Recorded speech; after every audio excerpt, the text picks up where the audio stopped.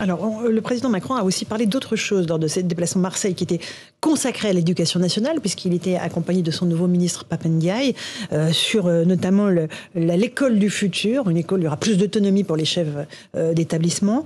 Il a aussi répondu à des questions de nos confrères sur une enquête qui a été publiée par l'opinion, qui montre que l'éducation nationale est confrontée à une, entre guillemets, épidémie de tenues islamiques, les abayas, le camis, notamment dans les lycées, euh, l'information est remontée non seulement par les rectorats, mais aussi par le renseignement territorial.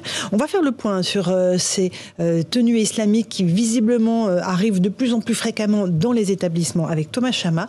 Et ensuite, on en débat tous les quatre.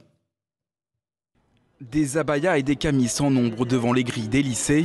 Ces derniers mois, de plus en plus d'élèves revendiquent le port de ces tenues longues islamiques. De quoi compliquer la tâche des chefs d'établissement, chargés de faire respecter la loi sur l'interdiction des signes religieux à l'école. Un phénomène constaté par Alain Sexig, secrétaire général du Conseil des sages de la laïcité, cité par le journal L'Opinion. Cette recrudescence est une réalité. Le Conseil des sages de la laïcité réfléchit à la manière d'y répondre. Interrogé lors de son déplacement à Marseille sur le thème de l'éducation, Emmanuel Macron compte bien s'emparer du sujet. La politique que je veux conduire est toujours la même celle de la vérité.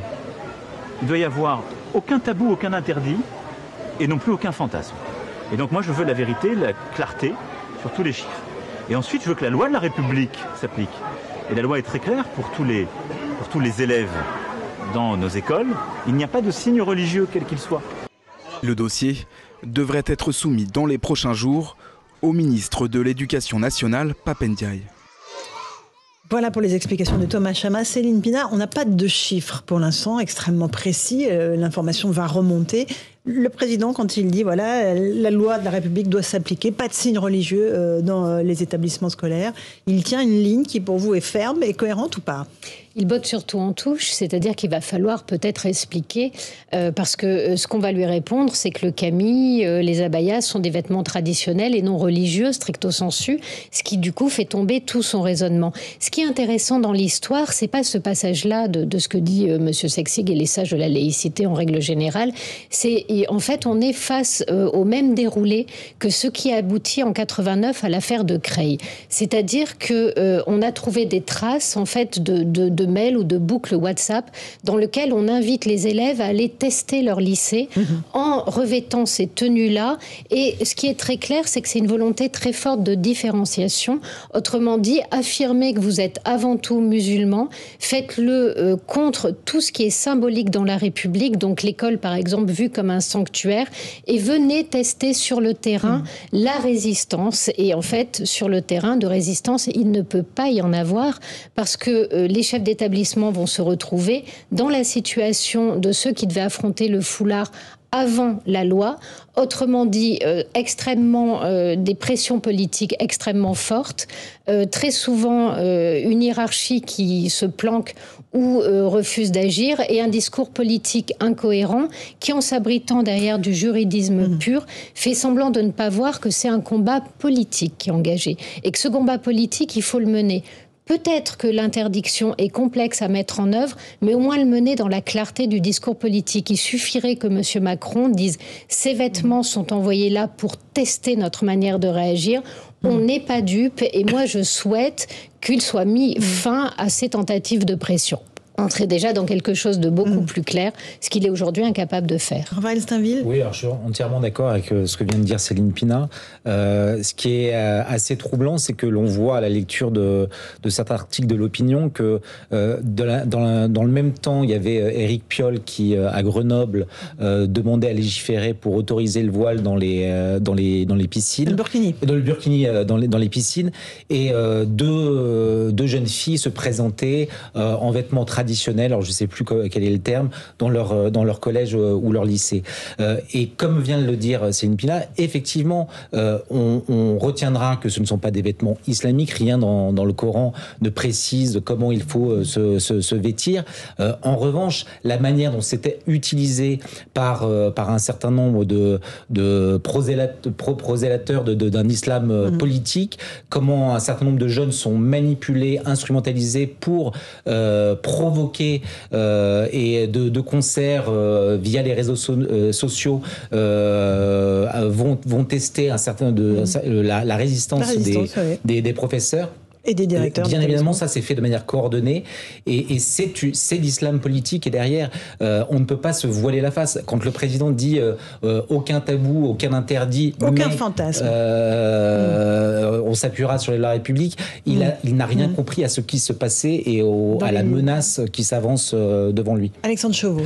Oui, pour rebondir sur ce qui vient d'être dit, on voit que dans le papier de l'opinion aussi, dans la même logique que ce qui est fait euh, pour le Burkini, il y a derrière tout un tas d'associations qui euh, instrumentalisent ces, élèves. Par exemple, euh, il citait l'exemple d'une jeune fille qui est venue avec une, une abaya, c'est une, longue robe, culturelle islamique. Euh, qui s'est fait rappeler à l'ordre par euh, le chef d'établissement. Et le lendemain, il y a une pétition qui a été lancée pour lutter contre les discriminations. Il y a plusieurs jeunes filles, je crois une dizaine, qui sont venues elles aussi euh, en abaya. Donc il y a, derrière, il y a tout un, des associations qui instrumentalisent et qui, qui font monter la polémique comme, comme pour le, le. Donc effectivement, il y a quelque chose à l'œuvre, Karim. Il y a une, une tentative, encore une fois, d'être présent dans les établissements scolaires où tous les signes religieux sont interdits. Oui, mais la difficulté que l'on a, c'est deux, choses. D'abord, mesurer le phénomène.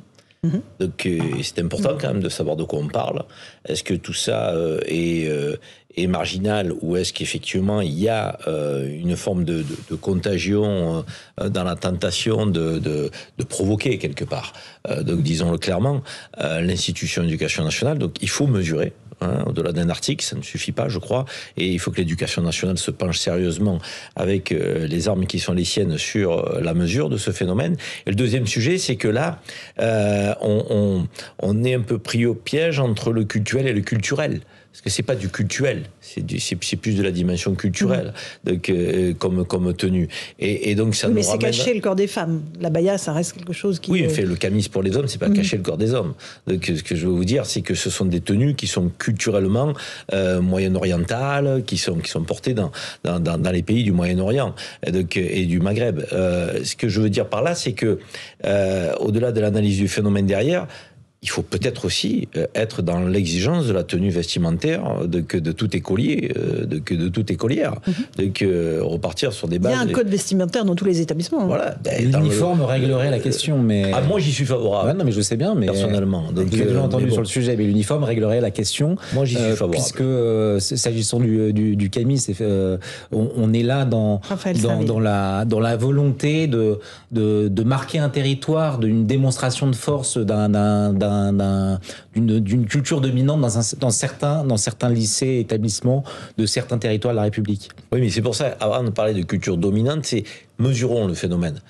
moi, je, je, pense que c'est quand même, c'est quand, même utile. L'affaire de Creil, c'est trois voiles. Au départ. Au départ. Au départ Mais ce que je veux dire par là, c'est que comparaison n'est pas toujours raison analysons le phénomène. Si des associations tentent de nous provoquer ou de mener un bras de fer avec les, valeurs républicaines sous l'égide d'une approche politique, alors effectivement, il faut faire le clair sur cette position-là. Parce que cette position-là, elle met à mal la cohésion nationale. Elle met à mal la cohésion nationale. Je trouve que c'est pas un délire de journaliste, parce que Alain Sexy, qui est euh, un des, des, hauts responsables des sages de la laïcité, euh, euh, il est donc au sein de, de l'éducation nationale et ils reçoivent un certain nombre de signalements. Donc pour que le signalement sorte à l'extérieur, c'est qu'il y en a suffisamment pour qu'il soit significatif. Ça, c'est la première chose. La deuxième chose que je trouve très intéressante, c'est en fait l'usage de la lutte contre les discriminations utilisée pour faire avancer l'islam politique. Ça, c'est vrai, c'est récurrent et c'est un véritable problème. Et la dernière chose, c'est que l'avantage, en fait, de remettre un hôpital, euh, un hôpital, un uniforme ou un dress code à l'intérieur de, de l'école, cela aurait pour conséquence de réunifier, alors qu'en fait, tous ces objectifs-là, tous ces vêtements différenciants sont là pour justement séparer et séparer les gens en fonction à la fois de leur ethnie et de leur appartenance religieuse. Donc, on ferait en plus office, j'allais dire, euh, l'école jouerait vraiment son rôle d'unificatrice Et je crois qu'il va falloir en arriver là, parce qu'aujourd'hui, on ne pourra jamais reprocher aux islamistes d'être des imbéciles.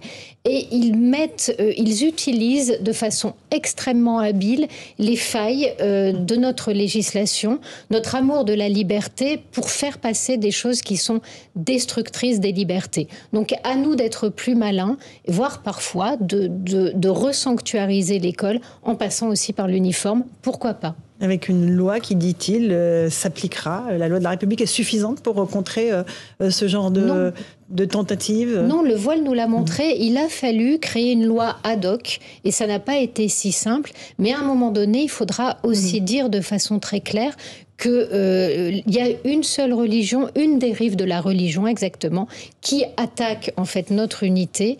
Et euh, cet islam politique, il va falloir aussi le traiter en tant que tel et pas en se planquant toujours derrière les religions en général, mmh. parce qu'on n'a pas ce problème-là avec d'autres religions aujourd'hui. En un mot, Alexandre Chevaux, le nouveau ministre de l'Éducation nationale, on l'a vu, on ne l'entend pas Il va parler un jour ou pas On, l'a peu entendu. Alors après, c'est aussi le, protocole qui veut ça. C'était un déplacement euh, du président de la République. Euh, J'étais mardi à Cherbourg pour un tout autre déplacement avec Emmanuel Macron et la, et la ministre de la Santé, Brigitte Bourguignon, qu'on n'a pas non plus du tout entendu. Pas beaucoup, mais en même temps, ils sont dans euh, une période de réserve, les ministres. Mais...